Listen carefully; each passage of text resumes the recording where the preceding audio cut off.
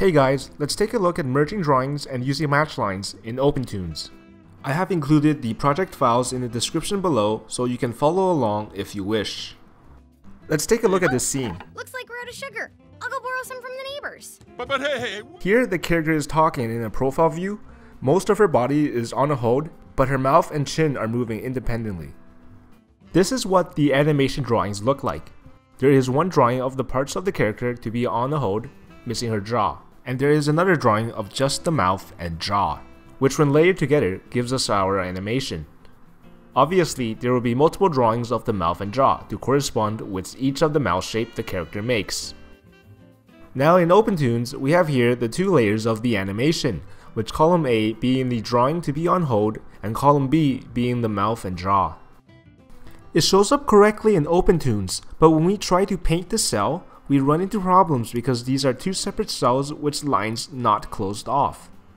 One way to make this work is to merge them directly. Select both columns by clicking and holding shift, then go to Xsheet, Merge TLV Levels.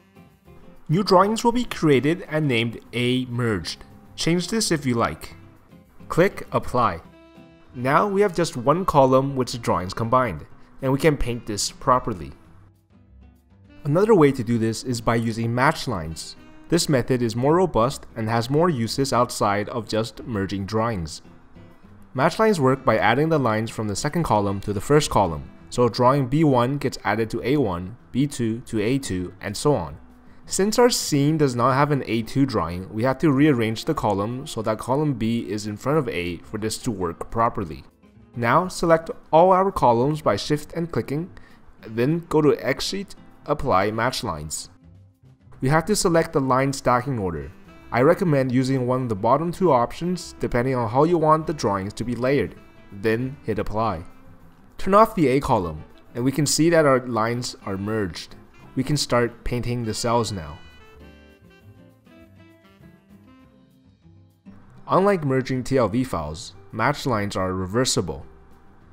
Select the drawings and go to Xsheet, delete match lines, and this will set our drawings back to what it was before.